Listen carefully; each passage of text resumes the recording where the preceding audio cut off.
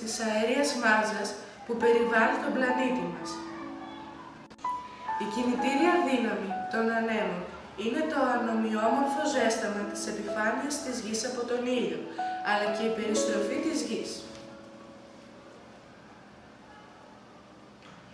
Οι παράγοντες αυτοί δημιουργούν διαφορές πίεσης στην επιφάνεια της γης.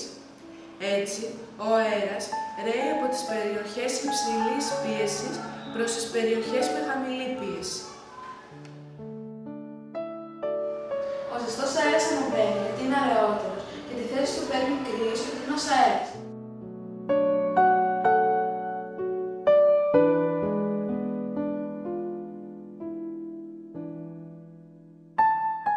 Η διεύθυνση του ανέμου χαρακτηρίζεται από το σημείο του ορίζοντα από το οποίο φυσάει ο άνεμος.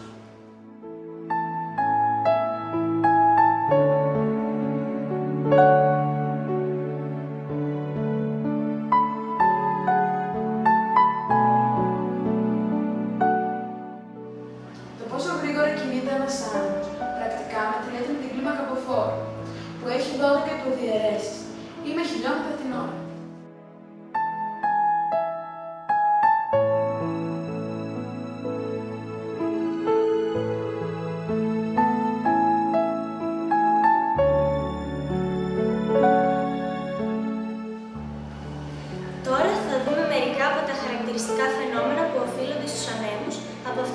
Που μελετήσαμε φέτος. Οι τροπικοί κυκλώνες ή απλά κυκλώνες στο βόρειο Ατλαντικό λέγονται hurricanes και στον ειρηνικό τυφώνες. Δημιουργούνται σε μικρά γεωγραφικά πλάτη πάνω και κάτω από τον Ισημερινό στους ωκεανούς. Είναι πολύ καταστροφικοί και η ταχύτητα των ανέμων μπορεί να φτάσει τα 250 χιλιόμετρα την ώρα. Ανεμοστρόφιλοι που όταν σχηματίζονται πάνω από το νερό λέγονται σύμφωνες και είναι βίαιοι περιστροφικοί άνεμοι που έχουν τη μορφή γωνίου. Κάποιες φορές προκαλούν μεγάλες καταστροφές και θύματα. Ευτυχώς η διάρκεια του φαινομένου συνήθως διαρκεί μερικά λεπτά. Ανεμοστρόφιλους έχουμε συχνά και στην Ελλάδα.